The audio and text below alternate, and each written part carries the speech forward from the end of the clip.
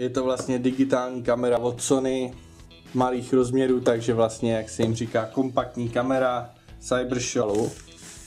Ty, a ten je, to je krasavec, ale. Tak a už nám vyjel objektiv. Teď ještě vypneme kamerku jedním stiskem.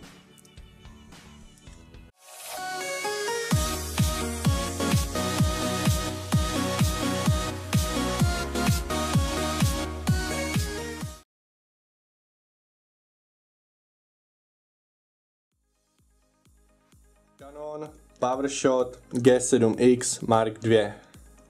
Tohle to je fakt digitální kompakt nejvyšší kvality, anebo ne nejvyšší, ale patří mezi nejvyšší kvality. Už se řadí do profesionálních kompaktů. Nechci říct, že by se vyrovnávali prostě těm klasickým, jak tomu říkají DL, DLSR nebo tak kamerám, prostě ty velký, kde měníte objektivy a tak za prostě kamery za 30 tisíc ale řadí se mezi jedny z nejlepších kompaktů hned za Sony, myslím, že to je RX100V nebo tak něco, stojí asi 20 tisíc. I tenhle ten oproti oproti VX350, který jsem měl předtím, který jsem vrátil, stál vodos víc. Raději nebudu ani říkat proč, takže jdeme se podívat dovnitř bedínky Canon PowerShot G7X Mark II.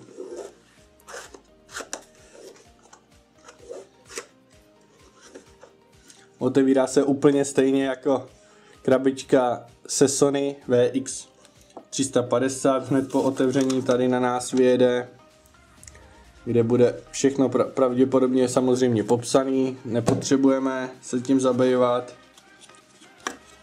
Pak tady nevím. Tak, co tu máme dál? Je tady všude QR kód a je to vlastně kabel k nabíječce. Tak, teď vyndáme takovouhle vaničku, ve který se nachází samotný fotoaparát. To zatím odložím sem, ať se necháme překvapit.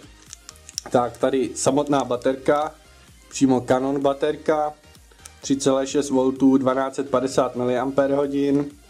Zatím odložíme. Tak, tady ten ten na zápěstí odložíme. A poslední věc, co tu je, je přímo, bedínka je prázdná, bedínku odložíme a poslední věc, co tu je, je přímo samotná nabíječka baterek, což mi přijde docela zajímavý a docela dobrý, že to k tomuhle dávají.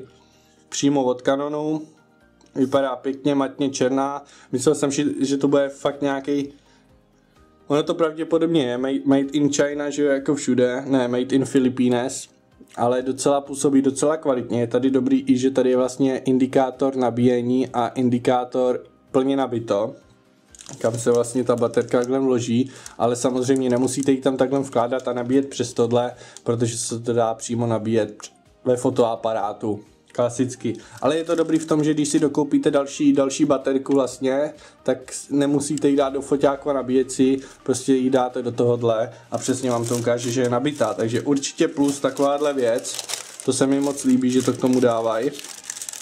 Vrhneme se na to nejdůležitější a to je samotný fotoaparát. Takže ho vydáme, ježiši, z tohohle materiálu mám husí kůži.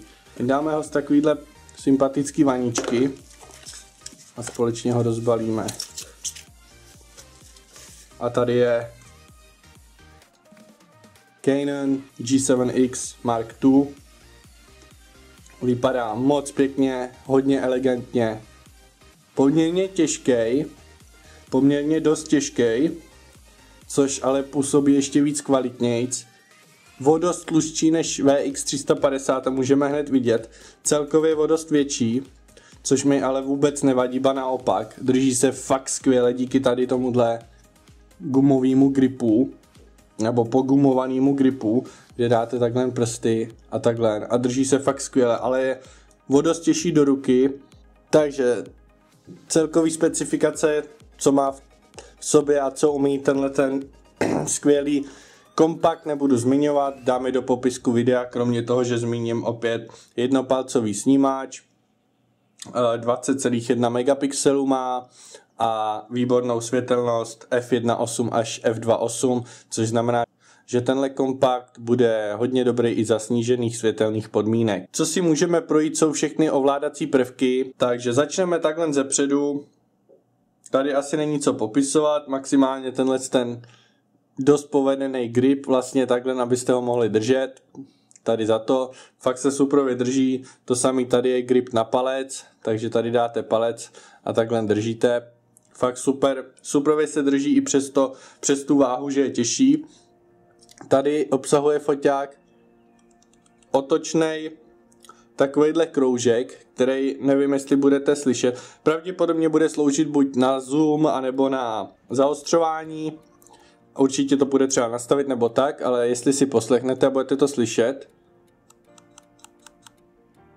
tak vlastně cvaká. Což by tohleto cvakání při točení videa asi nebylo ideální, na to Canon samozřejmě myslel a tady dal takovýhle čudl, nebo myslel, spíš se poučil z předchozího modelu Mark 1 a tenhle ten čudl přepnete a když teď budu točit tím kruhem,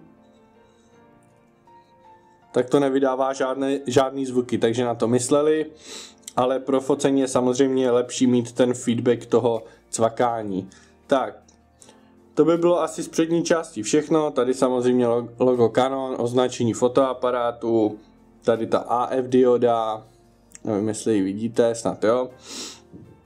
Přesuneme se, přesuneme se nahoru. Tady vyska, vyskakovací blesk, název fotoaparátu, otvory pro stereo mikrofon,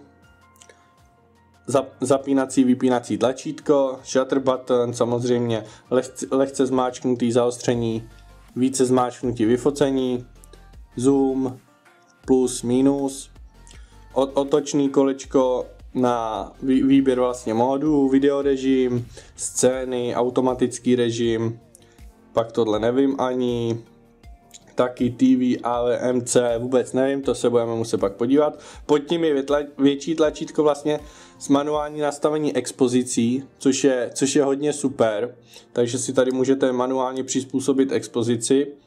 A to by bylo asi z vrchní části všechno. Z pravé části je tady vlastně krytka, která ukrývá mini HDMI konektor a mikro USB pro nabíjení. Je tady tlačítko pro Wi-Fi, pro snadné sdílení fotek, jako měla právě třeba i VX350, kterou jsem vrátil a koupil si místo toho tohleto. Z druhé strany, z té levé, je vlastně tlačítko pro vystřelení blesku a jenom nápis, že to obsahuje Wi-Fi. Ani tady nikde nevidím NFC ikonku, kde je, ale pravděpodobně tady někde bude. Tak to by byla asi tato část všechno, takže se přesuneme dolů, kde je samozřejmě jenom míst pozice pro baterku a paměťovku. Není to samozaklapávací, musíte se to vždycky zajistit. A tady samozřejmě závit pro stativ. Když se podíváme na hlavní, což je vlastně zadní část fotoaparátu, jak vidíme krásný, krásný velký třípalcový displej, pak nějaký funkční tlačítko, ring, nevím, co to bude dělat, jestli to bude nějak nastavit, ukážeme si, až fotoaparát spustíme. Tlačítko pro zač- začátek, za- začátek a konec nahrávání videa, pak nějaký prohlížení, tímhletím tlačítko prohlížení fotek, blesk, nějaký informace, manuál fokus a pak nějaký set, nevím, co to bude, prostě OK, potvrzovací tlačítko a tak.